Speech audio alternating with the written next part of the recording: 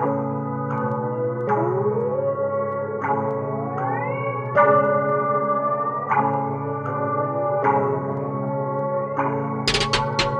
Herzlich willkommen zurück, meine Freunde. Es freut mich, dass ihr mal wieder am Start seid. Und ich hoffe natürlich, euch geht es mindestens genauso fantastisch wie bei allen anderen Videos davor auch schon. Heute kommen wir endlich mal wieder zu einer wunderbaren Retro-Konsole, nachdem wir uns den Pocket Sprite vor kurzem reingezogen haben und auch den BitBoy Go oder den Retro Mini. Heute schauen wir uns eine unfassbar hochwertige, starke, gigantische Arcade-Maschine an. Für 9,99 Euro beim Action. Ich hoffe für euch, dass ihr einen Action in der Nähe habt, weil das ist der Laden überhaupt. Also falls ihr mir irgendwie die Chance habt, in einen Action zu kommen, dann geht da rein. Das ist, das ist einfach der Laden. Also mehr will ich doch gar nicht zu sagen. Action! Falls ihr nach dem Video wirklich sagen solltet, ey, die brauche ich, dann fahrt in den Action. Für 9,99 Euro gibt es das Gerät dort. Kleine Preise, große Freude. Action! Vergesst auch bitte nicht, meinen YouTube-Kanal zu abonnieren, denn über 80% meiner Zuschauer haben meinen Kanal noch nicht abonniert. Würde mich freuen, wenn das ein bisschen weniger werden in Zukunft. Also dieselbe Anzahl der Zuschauer, aber mehr davon meine Abonnenten. Ja, ich verstehe schon, was ich meine. Und schaut auch in der Beschreibung vorbei, da ist mein Instagram verlinkt. Das ist ein neuer Kanal auf Instagram. Schaut da gerne mal vorbei. Würde mich freuen, wenn ihr da auch folgt. Und dann fangen wir einfach mal an mit dem Unboxing. Eine wunderschöne Arcade-Maschine mit 240 Games, ein 2,5 Zoll TFT-Screen, 5 Stunden Playing Time sind drin. Allerdings muss man dafür Batterien in das Gerät reinschmeißen und wir sind perfekt vorbereitet. So, was haben wir noch? Wir haben Sports, Puzzle, Shooting und Arcade. Das sind die vier Kategorien, die wir auswählen können quasi. Ansonsten steht hier nochmal dasselbe und nochmal dasselbe. Hier steht nochmal auf Deutsch im Prinzip, ja, wieder genau dasselbe, die vier Kategorien, dass wir 240 Games haben, dass bis zu 5 Stunden Spielzeit drin sind und dass wir ein 2,5 Zoll Display haben. Exzellent, Freunde, exzellent. Wir packen den Schinken jetzt einfach mal aus und schauen, wie das Gerät performt. Dazu nehmen wir ein Messer zur Hilfe, um die Packung ganz säuberlich aufzuschneiden. Zack.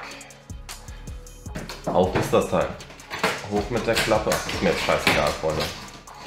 So schön ist die Verpackung jetzt auch nicht. Gell? Hier haben wir noch ein Users Manual. Und zwar in Englisch. Wunderbar. Juckt uns nicht. Dann holen wir das Teil auch am besten direkt mal raus. Da sieht man, ist schon eine Riesenmaschine. Ähnlich groß wie die echten damals. Weg damit. Noch so ein paar nette Sticker hier aufgeklebt. Das sind alles Sticker. Der Controller fühlt sich auch unfassbar hochwertig an. Die Knöpfe natürlich auch. Ich bin natürlich vorbereitet und habe ein Multitool am Start, sodass wir uns hier der Schraube entledigen können. So, das sollte reichen. Ja. Drei Batterien habe ich noch richtig im Kopf gehabt.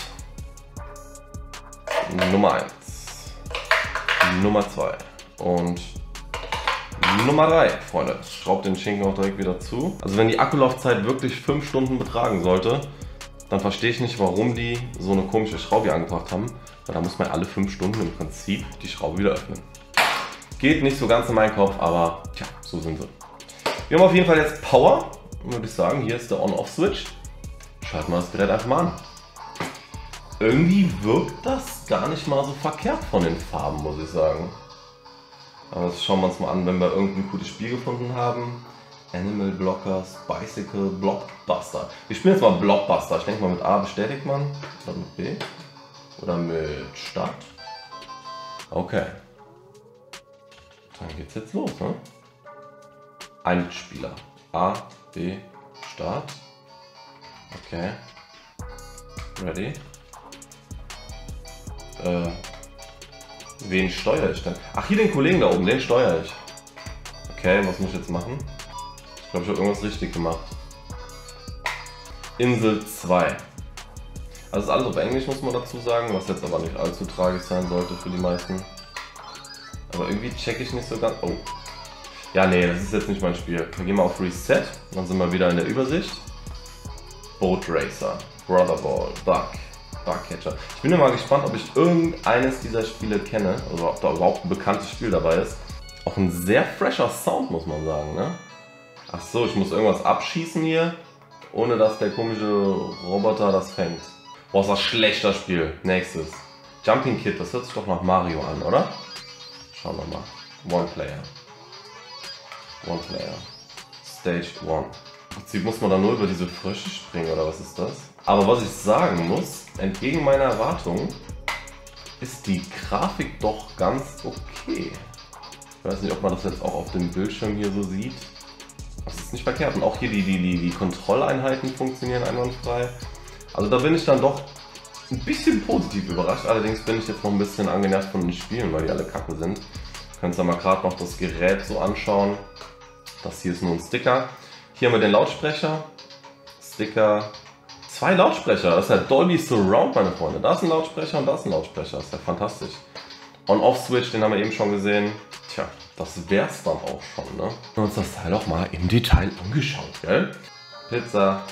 Ah, da habe ich die Pizza jetzt abgeholt wahrscheinlich. Jetzt muss ich die dahin liefern, oder wie? Hä, ich check das Spiel nicht. Irgendwie fehlen mir auch die Anleitungen.